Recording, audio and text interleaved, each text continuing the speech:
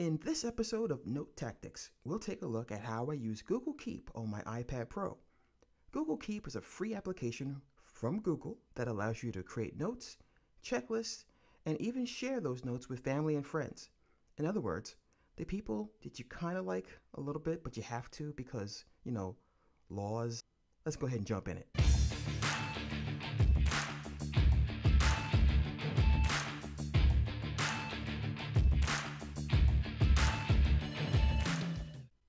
Now before we get started, I also did a video like this for people who have a Samsung Galaxy Note because whatever you do on one version of Google Keep syncs automatically to another version.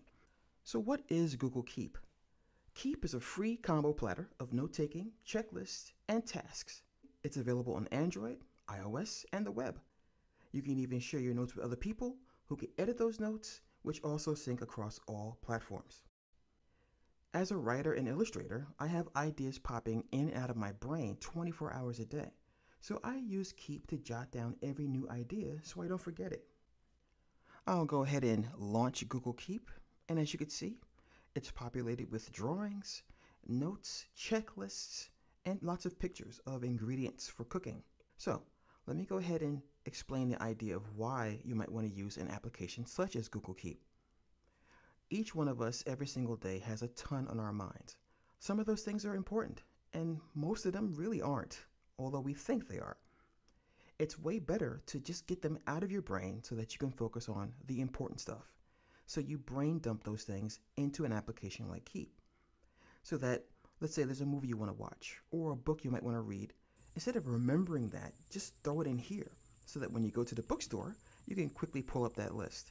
One of the things that Google Keep comes in handy for me is when a client calls me on the phone. Let's say I'm at a restaurant with my wife and they want me to do an icon for them or a logo or a mascot. It's easy for me to go into the app, tap the pen icon, tap the brush or pen, choose a color, and I can start to scribble or draw right away. So let's say they want me to do a sun. Go ahead and just do something like this. I know, award winning. And when I'm done, I can go ahead and hit the arrow. I can then give it a title. Return, add some notes if I want to, and when all is said and done, hit the arrow to leave, and there's my sun. Now, let's talk about how we can create checklists. So what I'm going to do is show you a checklist that I have here. I create checklists when I'm doing something that's important and that I want to repeat. So for recording videos, I'm going to follow the same steps each time I make a video for the most part. So I'm going to have things in this checklist that I can check off as I work. So I can tap the, the items that I complete and you'll notice that they move to the bottom of this little panel. And what I like about this is when I'm ready to record the next video, I just do the reverse and those items repopulate at the top of the interface, which is great. Now let's talk about coloring notes. As you see here, this checklist is blue, this one is blue, and this one is green. And by the way, for those of you who watch the Galaxy Note version, this checklist is a little bit of a clue to a movie that I like.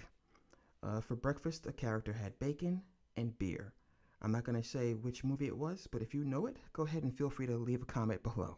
So I'll go back here again, and if I want to change the color of this note, I'll tap the little ellipses. I can change the color to gray, or whatever color I like, and exit the note, and it changes. This will sync across all devices, by the way, so the colors you see here will appear on your phone, and vice versa. Let's talk about sharing now. I can tap on this sun sketch, and if I want to share it with a client, I can tap on the ellipses, choose collaborators, enter the name of the person that I want to share this with, and then when I send it, they'll get a, a notification. They'll join this note, and if they decide to write on their sketch, give me notes, they'll appear right here once it syncs up. So it's a great way to collaborate with people.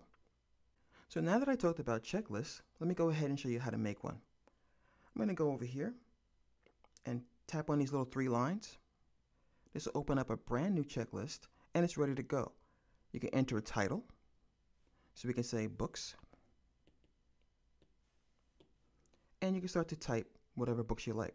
So you can say whatever book. I'll go ahead and put Warhammer because why not? Warhammer is the best. I can tap here to create a new uh, item or I can hit return. So I can say uh, Lord of the Rings. So I'll go ahead and just put L O T R for now. Hit return. And I can type as many things as I like. Once I'm done, I go ahead and give it a color and return to the main interface. And there it is. Like everything else, I can share this with someone.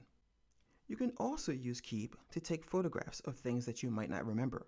For example, the labels of your favorite coffees and teas, your favorite foods, your favorite snacks, or things that you may have tried once or twice, and when you go to the supermarket later on to buy it, you won't exactly remember which one that was, so you can look at the picture. That's what I do all the time. For example, here are some labels of teas and coffees that I took with the camera. And the camera icon is right here. So you create a brand new note, call it foods or drinks or whatever, tap the camera, and you can capture images right in that note. Very handy. And that is how I use Google Keep on my iPad Pro. This video has been helpful to you in any way, please feel free to give it a thumbs up, subscribe, and hit the bell icon so that you'll be notified whenever I upload a new video. Also follow me on social media so you can see some behind the scenes of me creating new things like books and illustrations. So until next time, take care and peace.